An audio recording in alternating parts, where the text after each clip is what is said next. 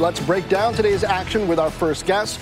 Joining us now is David Bahnsen from the Bahnsen Group. Welcome. David, you got your eye on dividend payers and energy stocks given these geopolitical tensions we're seeing?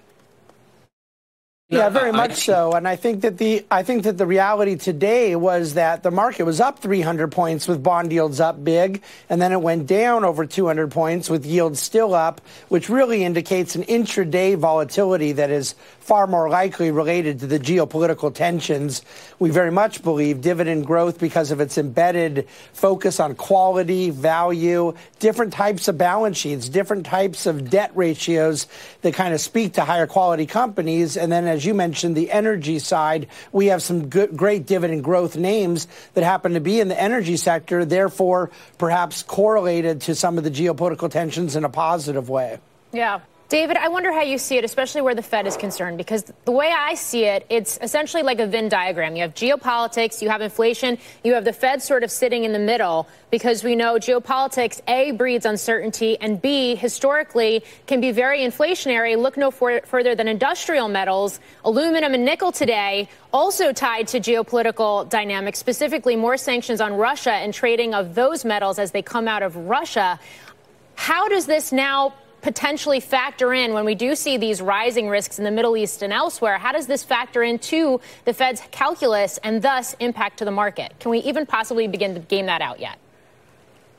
No, you cannot. And the reason why is that there's so many moving parts, it's incalculable. And we're also talking about the difference between the optics of what the Fed does and the underlying decision making.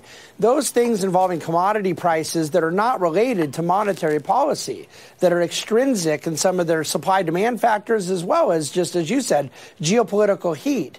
Uh, the Fed funds rate doesn't affect Middle East geopolitical, you know, weekend tensions. These things are somewhat permanent circumstances. And so I think the Fed is primarily focused uh, deep down in places they can't talk about at parties on the fact that there's a maturity wall of debt coming in commercial real estate, corporate debt. They've gotten a huge free ride for a couple years, high rates that nobody's really actually paying.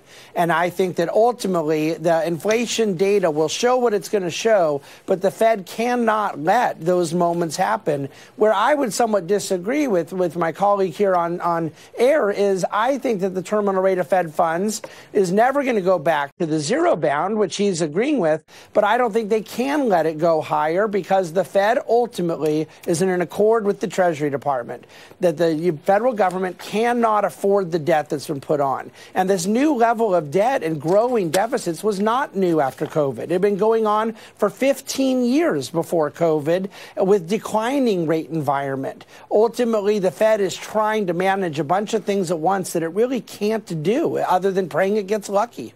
Okay. David, thanks for kicking off the hour with us.